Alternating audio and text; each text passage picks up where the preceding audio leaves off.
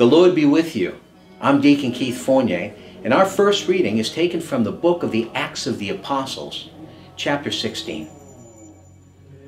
From there, he went to Derbe, and then on to Lystra, where there was a disciple called Timothy, whose mother was Jewish, and he had become a believer. But his father was a Greek. The brothers at Lystra and Iconium spoke well of him, and Paul, who wanted to have him as a traveling companion, had him circumcised.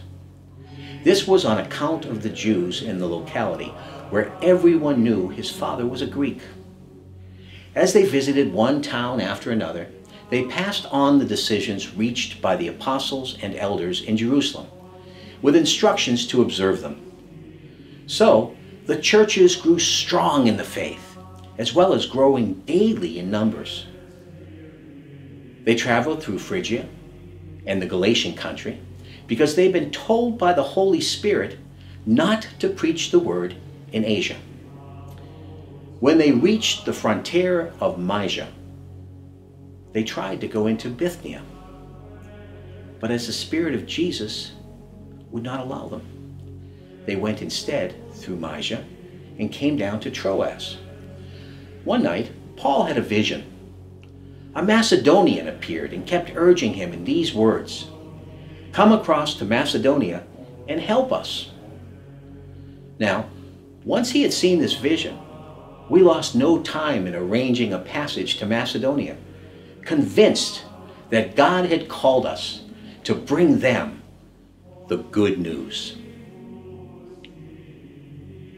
And our response is taken from Psalm 100. Acclaim Yahweh, all the earth. Serve Yahweh with gladness.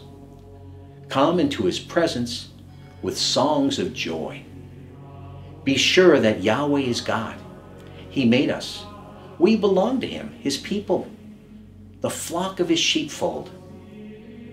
For Yahweh is good. His faithful love is everlasting.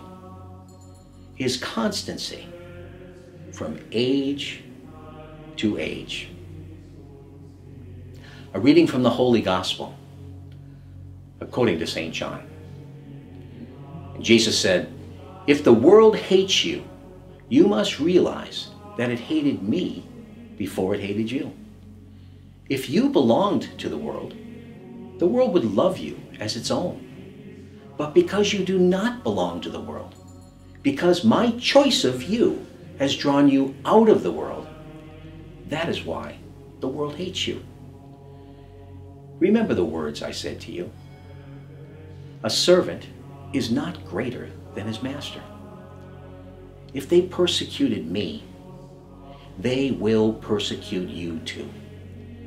If they kept my word, they will keep yours as well. But it will be on my account that they will do all of this to you, because they do not know the one who sent me. The Gospel of the Lord.